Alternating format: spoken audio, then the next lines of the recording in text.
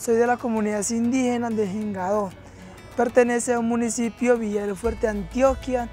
Estoy muy contento estudiando acá en el Politécnico Oriente.